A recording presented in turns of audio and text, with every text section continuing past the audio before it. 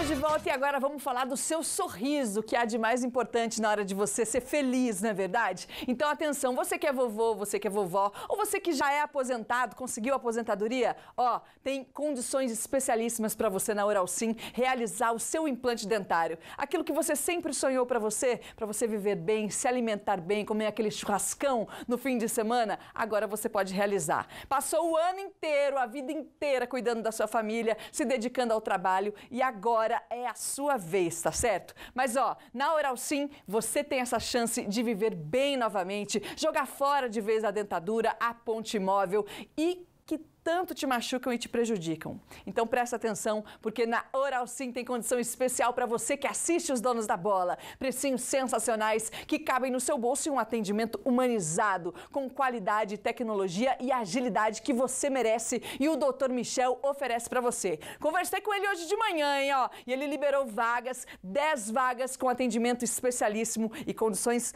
duplamente especiais. Só que você tem que ligar e garantir a sua vaga para você fazer a sua avaliação gratuita.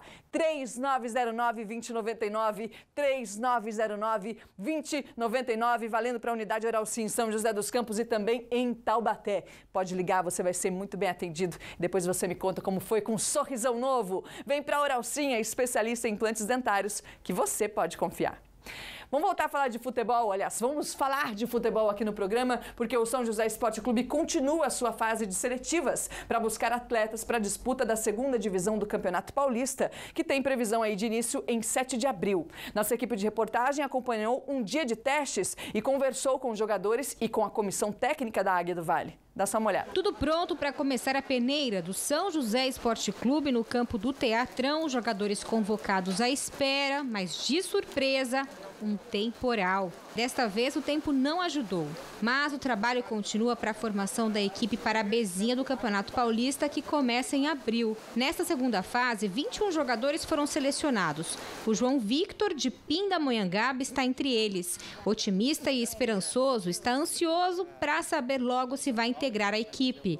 Um sonho que tenta realizar desde os 13 anos de idade. Estou fazendo algumas peneiras, mas nenhuma até agora deu certo. Eu estou buscando São José para começar a carreira. Eu passei nos, entre os 22 e 800, né? Estou com uma grande esperança. De Jacareí, o Wendel também está na briga por uma vaga. Joga em um time amador da cidade e agora tenta iniciar a carreira profissional no São José. São José é bem conhecido, né? Eu acho que vai me ajudar bastante aí na minha trajetória aí pelo futebol. Deste grupo, apenas metade vai integrar o time do São José, com outros já contratados e atletas da base. A equipe se apresenta apresenta os treinos no dia 4 de fevereiro. Tenho certeza absoluta que a partir da semana que vem a gente já vai poder definir alguns nomes para vocês dos atletas que vão, que vão estar conosco aí no dia 4 na apresentação já desses, desses outros atletas que foram contratados e com alguns do sub-20 que vão compor o elenco. Nesta segunda fase da peneira, a avaliação é mais criteriosa.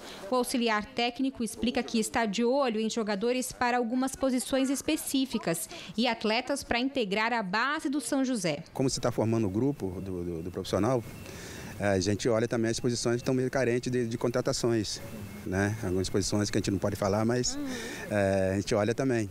E lógico que a parte técnica, a parte tática dos jogadores, a parte física nem tanto porque você tem tempo de trabalhar ainda, né? Mas mais a parte técnica, a parte tática dos jogadores. Um pouco mais de 20 jogadores devem formar o elenco profissional do São José para o Campeonato Paulista, mas o que dá para antecipar é que vem por aí jovens talentos para um time que reúne jogadores já conhecidos pelo torcedor. O Luciano Pitt, né, que é o lateral remanescente, vai permanecer conosco. Temos o Brenner, que esteve conosco em 2017. Temos o próprio Rafael, que esteve conosco em 2017, estava no Atlético Joseense esse ano. É, o próprio Anderson Júnior, que esteve conosco também em 2017 e está retornando agora em 2019. Então são alguns atletas que tiveram. E outros que estiveram comigo no Monte Azul, alguns outros que eu acompanhei, né? É, jogando contra mim ou até por indicações, a gente procurou buscar informações. Então nós temos hoje aí 11 atletas para se apresentar no dia 4, atletas esses já contratados com pré-contratos assinados. Apresentação então marcada para o dia 4 de fevereiro e as seletivas que iriam acabar na sexta-feira da semana que vem continuam ainda essa semana. Isso quer dizer que o Oliveira ainda não está satisfeito com o elenco todo que ele selecionou ali, né? É, talvez até por conta da chuva que aconteceu na sexta-feira. Sexta-feira seria de fato o último, a última avaliação e talvez por conta da chuva que caiu muito forte, não deu para avaliar, tirar aquela dúvida que o Oliveira pode ter em relação uhum. a um ou outro atleta, então preferiu continuar e aí abriu mais é, algumas vagas aí para poder avaliar e agora a diretoria tem que correr atrás o quanto antes, né, para poder fechar esse elenco o quanto antes, a selecionar quem de fato é, foi avaliado aí uhum. tem condições de jogar no São José na Bezinha e que a gente lida com sonho também, né, Andressa, dessa molecada que vem de várias partes do país para jogar num clube de quarta divisão, sem desmerecer, mas é uma realidade. São José está na quarta divisão é, do e futebol. o nome São José é, é muito, muito, forte, muito isso. tradicional, né? Quem não que gostaria de jogar no São José, né? É por isso que atrai. Uhum. E a uhum. gente vê assim, ó, são uh,